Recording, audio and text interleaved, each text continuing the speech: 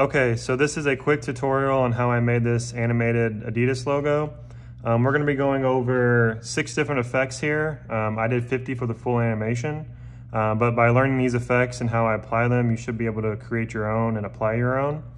Um, the first thing we're gonna do is load in the logo. logo. So you just click on this uh, button right here and you go to add, insert a photo, and we're gonna click our Adidas logo. Um, the second thing that we want to do is we want to go back to here uh, and actually click on, excuse me, click on Canvas and go to Animation Assist. And so what that does is creates this into an animation. Um, so at the bottom here are our frames. We're just gonna be building out five or six frames for this tutorial, but like I said, you can create more. Um, so the first thing we wanna do is each frame um, is a layer. So we can go ahead and duplicate this. Um, we'll just do it six times right now. So one, two, three, four, five, six. Um, we can go ahead and hide these frames real quick. So we're gonna be working off the base frame. Um, so it's pretty easy here. Um, we're just gonna be going in and editing it using different brushes. Um, so the first one that we wanna use, uh, we can go to abstract. Um, I'm gonna be showing you how to use brushes that are a little quicker here, uh, just to keep the time short. Um, the first one I'm gonna click on is Hexavector. Um, I'm gonna be going for high contrast um, drawings here. So it's gonna be very high contrast with not that much gray and a lot of black and white. Um, I think that'll look strongest with this logo. So all we have to do here is just kind of start drawing in a little bit. Um, and to undo on Procreate, it's just a double tap. So I'm just drawing and undoing a little bit. Um, and we'll go ahead and just say this is the first one. Um, if I was spending my time a little more, I'd go in and find detail a little, a little more, but I wanna make sure that you guys get this information quickly. So this is our first frame. So now we can go here and go to our second frame. And if you look at the bottom, you can still see the first frame there. So on the second frame, uh, we'll just use another brush over here. Uh, like I said, we'll stick with high contrast images. So we'll just use the Stickman brush under abstract. Um, same concept. We'll grow in, maybe just do something really abstract. Um, and this is where, if I had more time, I would make sure that it's something that I really like. Um, not that I don't like this, but this is more for learning purposes. Um, and it's not fine detailing. So I'm just going in, creating some high contrast, black and white brushstrokes here. Um, I think this looks pretty good for the presentation. So for the sake of time, we'll see that we have two frames now. Go back up here, we'll do our third frame. Um, I have a cool brush that I imported. Um, it's called um, Cybergrain. So I'm gonna actually click on Cybergrain 2 and we can hide these frames so the content behind it isn't there for right now. Um, you can see that the frames go away at the bottom. Um, so we're gonna unhide everything at the end.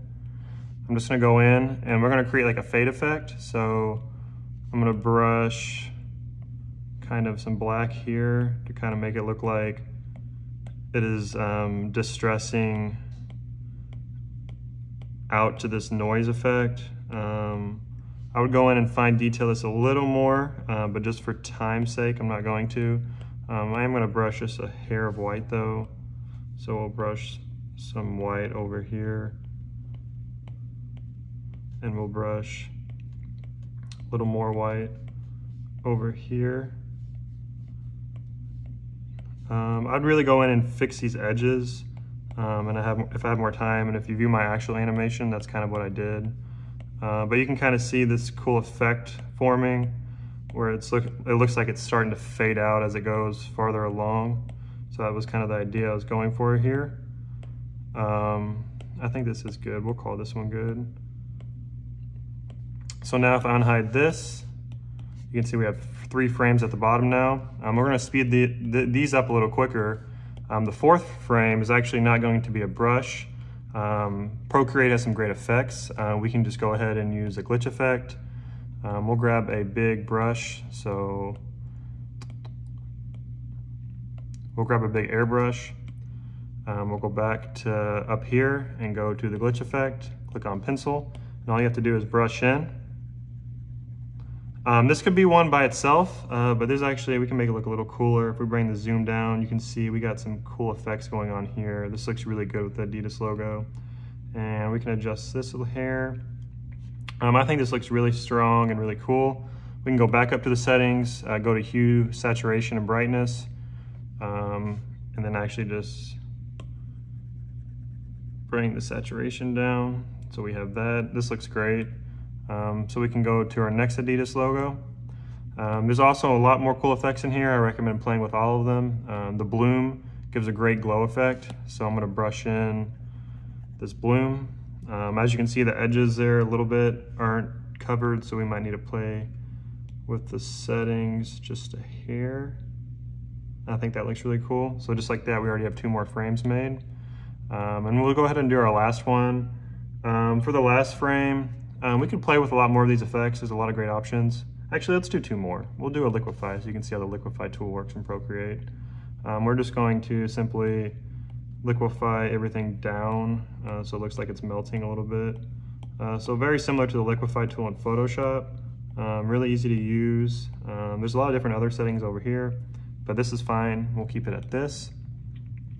Um, I need to import another Adidas logo since we used them all. So go here, add, insert a photo, and we'll add in the Adidas logo. And this one we'll do one more brush effect uh, so we can practice that some more. Um, I'm going to some imported brushes, but there's tons of different options here, and if I had more time, um, I'd go through all of them. Uh, but I have a cool imported brush, uh, this dry crisp. It's going to create some really strong lines like this.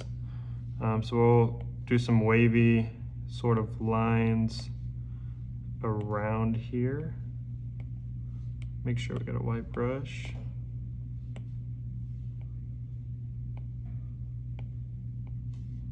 Maybe they're a little too big, but it's, it's okay. Then we'll get some black lines over the top. And this is gonna kind of create a high contrast, uh, kind of flowing streak effect. You can already see it forming. It looks pretty cool.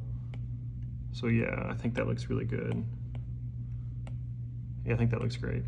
Um, so yeah, that was pretty quick and we have one, two, three, four, five, six, seven frames just like that.